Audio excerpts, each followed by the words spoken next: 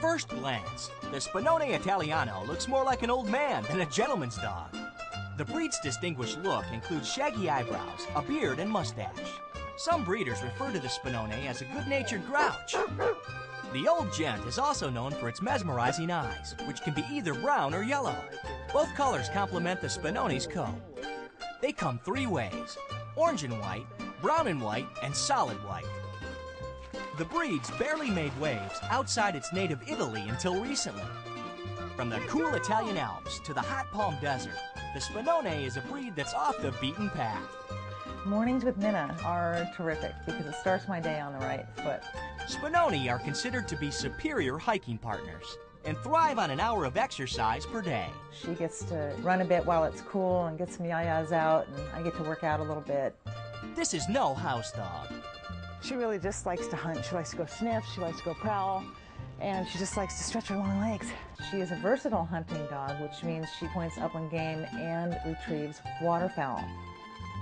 She will check back with you if it's just a tilt of the head. She wants to know where you are. The Spinone's bristly hair protects her during the hunt.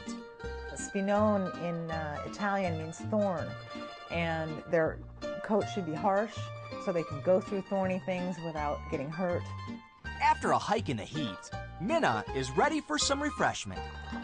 She drinks a lot of water. In fact, she drinks more water than any dog I've ever seen before. Behind those whiskers of water is a rumpled, good-natured companion. She's not an aggressive dog at all. Um, she's a little protective of me a bit, but I've never known her to be aggressive whatsoever. The Spinone's size might ward off some intruders, but don't count on this breed to be a guard dog. A Spinone's nature is not to protect, it's to track.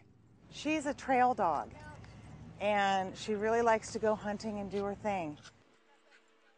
If you're now smitten with the Spinone, here's what you need to know about this Italian import.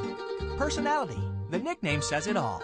Four treats out of four for the nature's gentleman. When it comes to protection, the Spinone gets two treats.